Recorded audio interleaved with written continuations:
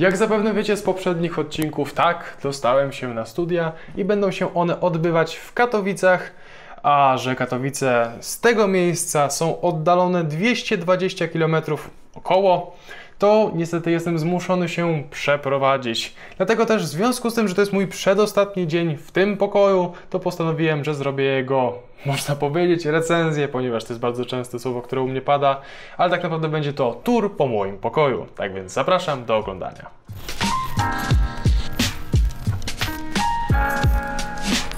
I na początek chciałbym tylko wspomnieć, że jakby Cię próbujemy nowego formatu, dlatego też dzisiaj cały film będzie nagrany tak zwanym mastershotem. A mastershot znaczy, że nie ma żadnego montażu, nie ma żadnych zmian ujęć kadru, tak więc po prostu wszystko to jest nagrane na jednym klipie, dlatego też wszystko będę musiał robić manualnie, będę musiał przestawiać kamerę, będę musiał zmieniać ostrość, ponieważ dzięki temu wydaje mi się, że będziemy mogli sprawić, a raczej sprawdzić moje umiejętności dykcji. Tak więc zaczniemy i będziemy sobie powoli szli w prawo z waszego kąta widzenia. Jeżeli spojrzymy na to, to mamy moją szafę. W mojej szafie, oczywiście, co się może znajdować w mojej szafie? W mojej szafie mogą się znajdować tylko ubrania. Jeżeli chodzi o ubrania, to nie jest tu nic ważnego, ale ważne jest to, ponieważ to dużo mówi o mnie. Otóż tak, jestem strażakiem, jestem w Ochotniczej Straży Pożarnej i można powiedzieć, że cała nasza rodzina tak naprawdę jest właśnie e, strażacka. Wszyscy są strażakami tutaj, dlatego też ja jako ochotnik mam już teraz aktualnie szereg szkoleń. Można powiedzieć, że jestem wykwalifikowany na tyle, ile ochotnik, strażak tak naprawdę może być. Dalej mamy satelitki, jakby z systemu Technics, o którym powiem dalej, jeżeli przejdziemy do mojego biurka, ponieważ to jest coś, o co ludzie bardzo często pytają w komentarzach. No i dalej mamy trzy pudełka tego samego modelu słuchawek, Vimoda Crossfade M100. I zapewne zapytacie, dlaczego masz aż trzy pudełka tych samych słuchawek? Otóż odpowiedź znajdziecie w przyszłych odcinkach. I można powiedzieć, że ten odcinek będzie mocno zapowiadał, co się będzie działo w przyszłych odcinkach. Dalej mamy święty obraz, a także łóżko. Czyje to jest łóżko? To nie jest moje łóżko. To jest łóżko mojego brata. Mój brat jest ode mnie 5 lat starszy i aktualnie pracuje, dlatego też w związku ze swoją pracą, która znajduje się w Warszawie, ponieważ jest w Państwowej Straży Pożarnej strażakiem, to musiał się wyprowadzić, dlatego też jego łóżko zostało, ale jego tu aktualnie nie ma. Dlatego też korzystam z tego, że go tu aktualnie nie ma i wyłożyłem wszystkie ubrania, jakie mi są potrzebne do wyjazdu do Katowic.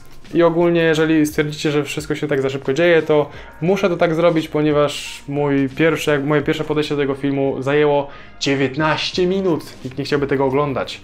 E, dalej mamy mojego softboxa, czyli po prostu oświetlenie, którym się zawsze oświetlam do moich nagrań. jeżeli potrzebujecie stałego oświetlenia do Waszych nagrań, żeby oświetlić na przykład twarz, tak jak ja to robię właśnie w swoich odcinkach, to jak najbardziej softboxa polecam z jak najmocniejszym światłem. To aktualnie ma 4900 lumenów. Jeżeli by dać coś, e, jeżeli chodzi o porównanie, to zazwyczaj lampka biurkowa ma jakieś 500-600 lumenów, więc możecie sobie zobaczyć, jak bardzo jasna jest ta lampa.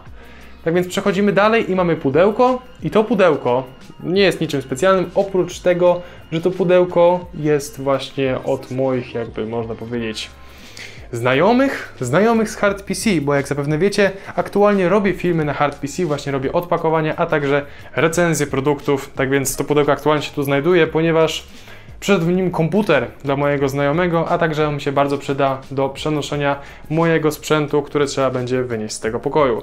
Dalej mamy torbę. Jest to torba, w której oczywiście zazwyczaj biorę e, na wszelakie rodzaje zlecenia fotograficzne, a także filmowe. No i dalej mamy moje stanowisko.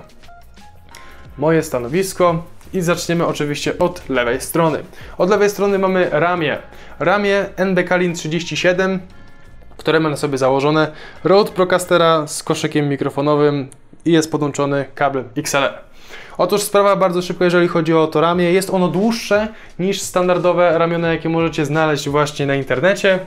Tak więc jego udźwig może być trochę mniejszy niż te 1,5 kg, jakie znajdziecie w przypadku standardowych ramion, ale zasięg jest o wiele większy, jak zresztą możecie zauważyć. Tak więc jeżeli potrzebujecie yy, ramiona, ramienia, który jest w stanie utrzymać coś, co ma praktycznie kilogram, bo to jest 750 gramów, do tego koszyk będzie niecałe 100, jeszcze kabel oczywiście robi swój ciężar, to jak najbardziej NB Kalin polecam, ale będziecie musieli wszystkie te kurki, które tutaj są, pozakręcać i to mocno. Oj, to bardzo mocno. Dalej przechodzimy, mam nadzieję, że nie włączyłem muzyki. Nie włączyłem muzyki, dobrze. E, mamy moje stanowisko komputerowe. No i na początek przejdziemy właśnie, jest to mój fotel, oczywiście, który znacie z odcinków. Jest to tablet graficzny Huion, bardzo ciekawa nazwa zresztą, 1060 e, plus jeżeli chodzi o to, jest to, jeżeli ktoś by chciał o niego zapytać, jest to bardzo dobry konkurent dla Wacoma Pro, ale o nim oczywiście też będzie odcinek w przyszłości. Dalej mamy klawiaturę Modcom Volcano. Jeżeli ktoś ogląda moje materiały z Tech Polski, to wie dużo o tej klawiaturze, ponieważ robiłem jej recenzję w tym serwisie, więc jeżeli chcecie poznać jej recenzję, zapraszam właśnie na kanał Tech Polski. Dalej mamy PSP serii 2000, na którym sobie często grałem. Dalej mamy pada e, Logitech F710, którego szczerze nie polecam i nie będę robił jego recenzji, po prostu łączność jest bardzo tragiczna. Dalej mamy swego rodzaju pudełko. Co znajduje się w pudełku? Otóż są to mikrofony. Są to mikrofony, które są stare. Rok 91, coś w tym stylu. Niedługo na ich temat pojawi się także recenzja, ponieważ one są bardzo ciekawe i można je dostać za całkiem nieduże pieniądze. Dalej mamy interfejs, o którym oczywiście mówiłem w odcinku. Dalej mamy coś, co po prostu ubóstwiam, ponieważ jestem swego rodzaju otaku, czyli po prostu jest to maskotka Hatsune Miku i na ten temat może kiedyś wypowiem się właśnie w lifestyle'u, przepraszam. Dalej mamy myszkę Creative Stitch M04, której e, jakby prezentacja pojawi się na kanale Hard PC niebawem. No i przechodzimy dalej. Muszę oczywiście to przesunąć. Mam nadzieję, że ostrość była dobrze. Jak zapewne wiecie, jestem cholernym gadułą, dlatego też ten odcinek może mieć długi zakres czasu, jeżeli jestem w stanie tak wybrnąć z tych słów, które wypowiedziałem. No i mamy tutaj coś bardzo ciekawego, ale może by jeszcze wypadało troszeczkę by tu poprawić ten aparat. Mamy tutaj coś bardzo ciekawego, ponieważ jak zapewne wiecie, zazwyczaj kiedy robię przebitki, to kamerę postawię gdzieś tu i celuję w tę stronę, no tak więc możemy dokładnie powiedzieć, co znajduje się na miejscu, które najczęściej służy właśnie do robienia przebitek. A jest to tablica korkowa. Na tablicy korkowej znajdują się dwie umarłe pary, czyli Superlux HD631 DJ i 681 Evo Mark II. Może kiedyś powiem właśnie historię na temat tego, jakie słuchawki posiadałem. Ogólnie nie lubię Superluxa w związku z jego systemem, który jest bardzo zły w mojej opinii, ponieważ niszczy kable. Lecimy dalej. Mamy tablicę korkową, na której znajdują się japońskie rysunki, znaczy rysunki, mangi, style i tak naprawdę e, tego typu tutaj spraw. Jest jeszcze właśnie Behemoth z Heroesu Trójki. Oczywiście sprawa wygląda następująco, że kiedyś chciałem nauczyć się rysować. E, kiedyś chciałem nauczyć się rysować i to właśnie było związane głównie z tym, że właśnie chciałem iść na grafika komputerowego e, jeszcze w czasach podstawówki, bardzo późnej, a także praktycznie całego gimnazjum. Tak więc właśnie zacząłem uczyć się rysować, ale niestety jestem osobą, która się strasznie szybko demotywuje i w przypadku roku, kiedy dosyć mocno rysowałem, właśnie dosyć często i chciałem po prostu jakby się tego nauczyć, nie widziałem takiego dużego, można powiedzieć, progresu, a jak wiemy przy rysowaniu i wszystkich innych rzeczach e, droga jest bardzo ciężka, jeżeli chodzi o to, żeby nabyć jakieś dobre umiejętności, tak więc niestety zniechęciłem się i Ostatecznie to porzuciłem, ale będę musiał do tego wrócić, ponieważ no, zaczynają się studia grafiki komputerowej i będę tam miał rysunek i malarstwo, więc mogę mieć troszeczkę pod górkę, ale mam nadzieję, że wszystko pójdzie dobrze. Jeżeli chodzi o biurko, tutaj dużo się nie znajduje.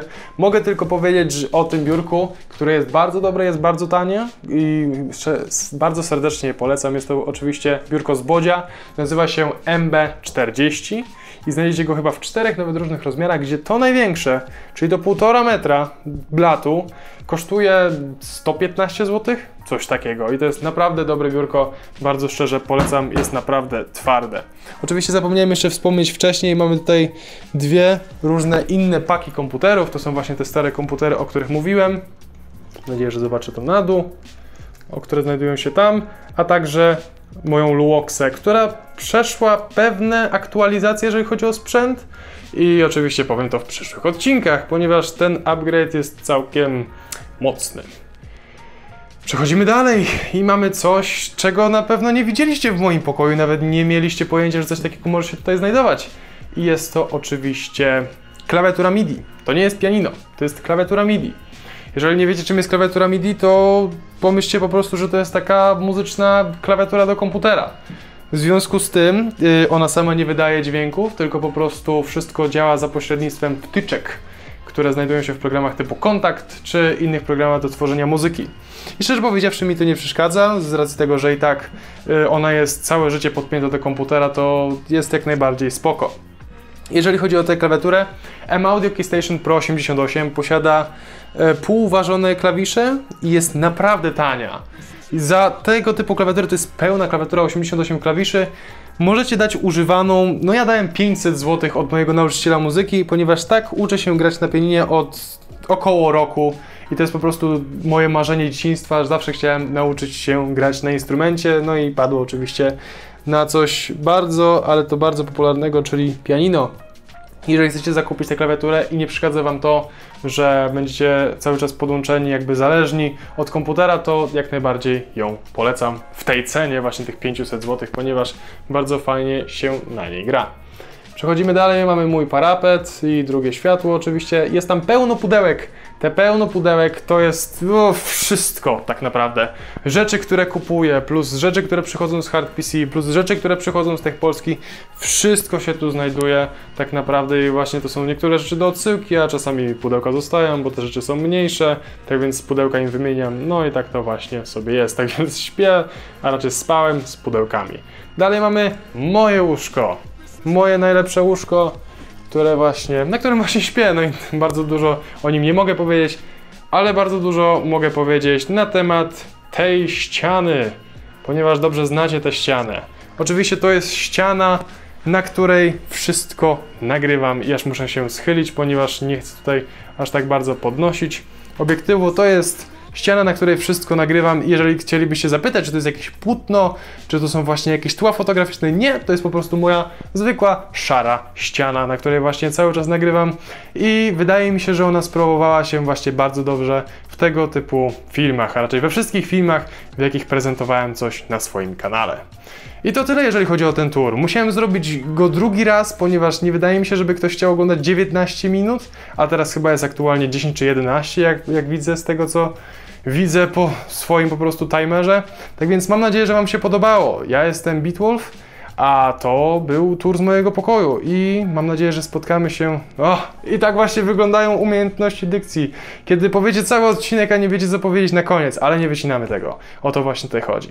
Tak więc mam nadzieję, że Wam się podobało. To był mój mur.